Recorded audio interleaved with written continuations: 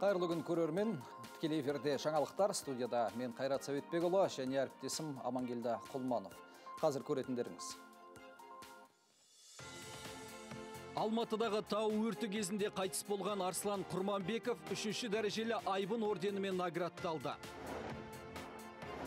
Ауыл шаруашылығындағы өзгерістер, саладағы қандай бағыттар енді субсидияланбайды. Ведомство неліктен мұндай шешімге барды? Елена Рыбакина Римдегі WTA мың турнирінің ширек финалына шықты. Осылайша әлемдік рейтингті жаңартты. Оның ендігі қарсыласы кім? Отандасымыз әлемнің нешінші ракеткасы атанды. Қызметтік борышын атқаруда көрсеткен батылдығы мен жанқиярлығы үшін алматылық өрт сөндіруші Арслан Құрманбеков үшінші дәрежелі айбын орденімен наградталды. Тиісті жарлыққа мемлекет басшысы Қасым Жомарт Тоқаев қол қойды. Бұл туралы Ақорданың ресми телеграм каналында жарияланды. Еске сала кетейік, 28 жастағы құтқарушы 8 мамырда Іле Алатау табиғи паркінің тау бөктеріндегі қызыл жалынды сөндіру кезінде қаза тапқан еді. Сол күні Арслан Құрманбеков қара жалынмен арпалысып жатқанда қарағайдың қалың томары төбесіне құлап ажал құшқан. Мал шаруашылығын субсидиялауда жемқорлық жиі кездесетін екі бағыт алынып тасталды. Яғни енді тайыншаларды жалға алуға және тұқымдық тегіне сәйкес келетін импортталған аналық ірі қара мал басын сатып алуға қаржы берілмейді. Ауыл шаруашылығы министрі Ербол Қарашукеевтің сөзінше бұл бағыттарға соңғы 5 жылда 556 миллиард теңге жұмсалған екен. Бірақ қаражаттың көп бөлігі тиісті жеріне жетпей қалыпты. Рабочую группу они не смогли доказать. Тайыншаларды жалға алуға және импортталатын аналық әрі қара малды сатып алуға субсидия сұраған шаруалар жұмыс тобында ақшаның жемқорлық жолмен жілік-жілікке бөлініп кетпейтінін дәлелдей алмады ғой. Сондықтан бұл бағыттарға қаржы бөлуді тоқтаттық.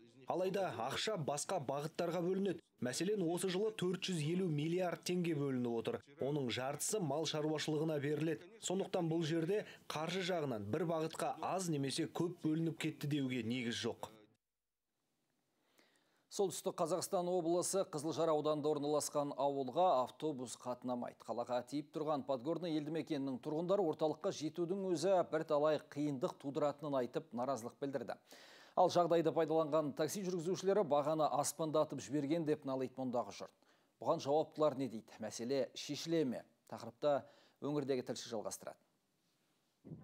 Облыс орталығынан Подгорныйға дейінгі арағашықтық 23 шақырымды құрайды. Ауылға баратын жол ұзақ емес. Соған қарамастан мұнда қоғамдық көлік мүлде қатынамайды деп көпшілік наразылық білдірді. Тұрғындар азаматтардың басым бөлігі Петропавлда жұмыс істейтіндіктен күнделікті жол күренінің өзіне бір талай ақша кетеді дейді. Келінім жұмысқа барады, такси жалдайды сөйтіп мінекей қиыншылық көріп жүр балаларға студенттерге қиын бізге нелерге зейнеткерлерге қиын. Ана емханаға бару үшін больницаға бару үшін мінекей ненің алдында береді сайлаудың алдында автобусты бір ай жүре ме бір ай екі айдан кейін автобус тоқтап қалады. Елена Капутская алты баланың анасы, оның үлкен қызы Петропавл қаласында орналасқан колледжде білім алады. Күнделікті қалаға барып қайтудың өзіне 4000 теңге қажет дейді. Көп балалы жанияда тек отағасы жұмыс істейді. Сондықтан жол ақыға жұмсалатын ақшаның өзі қалтаға айтарлықтай ауыр тиетінін айтады у меня муж один работает. Менің күйеуім жалғыз өзі жұмыс істейді ауылда зейнеткерлер бар кішкентай балалары бар отбасылар қаншама. Олар ауруханаға барады қалаға жету үшін такси бағасын аспандатып жібереді. Сонда біз не істеуіміз керек? Қалаға қалай қатынаймыз? Ал жауаптылар Подгорныйдан Петропавлға дейін қатынайтын бағыттың тиімсіз екенін айтады. Қызылжар ауданы әкімінің орынбасары мұнда жолаушылар ағыны аз дейді. Алайда жағдайды бақылап туындаған мәселені жақын арада шешеміз деп отыр. Пассажир обороты екі айдың ішінде байқаймыз қазір оның ішінде енді біздің отдел жкх сотрудниктары тоже будут бірге жүруге сол автобуспен байқайды сосын кейін екінші мәселе ол это субсидирование. Субсидирование енді аудан бюджетінен байқап аудан бюджетінен байқап сол аудан бюджетіне соны бізге салу керекпіз содан кейін уже перевозчикқа уже заинтересованность болады Аудан әкімнің орынбасары мердігер іздеуде қиындықтар туындап жатқанын айтады. Себебі тасымалдаушылар Петропавл Подгорны бағыт арқылы жұмыс істегісі келмейді екен. Айта кетейік, Қызылжар ауданы Подгорны ауылында барлығы 613 адам тұрады. Нұргүл Әлина, Азамат Телубаев, Алматы телеарнасы, Солтүстік Қазақстан облысынан.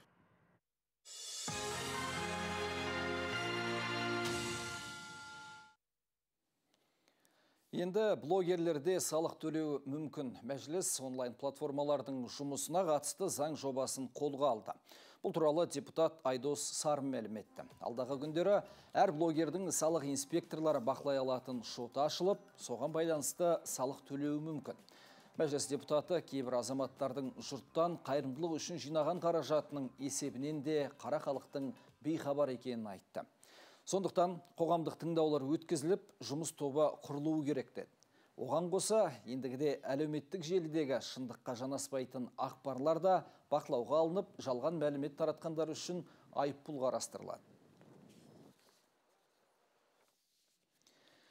Биыл бақытты отбасы және шаңырақ бағдарламаларына 72 миллиард теңге бөлінеді. Бақытты отбасы аясында 32,2 миллиард теңгеге 3176 несие мақұлданып, шаңырақ бойынша 39,7 миллиард теңгеге 3610 баспананың кілті табыс етіледі деп жоспарланып отыр. Тұрғын үй бағдарламалары шеңберінде көп балалы және мүгедек балалары бар отбасыларға бірінші және екінші топтағы мүгедектер мен жетім балаларға 2 пайыздық жеңілдетілген несие беріледі. Ал басқа санаттағы үміткерлер 5%тік мөлшерлемемен 10 пайызды құрайтын міндетті алғашқы жарнаны құйып сатып ала алады. Спорт жаңалықтарына кезек берейік. Елена Рыбакина алғаш рет Италия чемпионатының ширек финалына шығып, әлемдік рейтингте 5 орынға көтерілді. Қазақстандық теннисші Римде өтіп жатқан WTA 1000 турнирінде сәтті өнер көрсетіп жатыр. Отандасымыз бүгін бірінші партияда әлемнің 70-ші ракеткасы Маркета Вандроушевадан 6-да 3 есебімен басым түсті. Екінші сетте 4-те 1 есебімен алға кеткенімен чехиялық спортшы қайра брейк жасады. Дегенмен Елена матчты тағы бір брейкпен бітірді. Жалпы 1 сағат 14 минутқа созылған бәсекеде қазақстандық теннисші 4 эйс жасап, 7 брейкпойнттың бесеуін пайдалана білді. Енді Рыбакина жартылай финалға шығу үшін әлемнің бірінші ракеткасы. Польшалық Ига Швентекпен немесе рейтингте 24-ші сатыда тұрған Хорватиялық Донна Векичтің біреуімен кездеседі.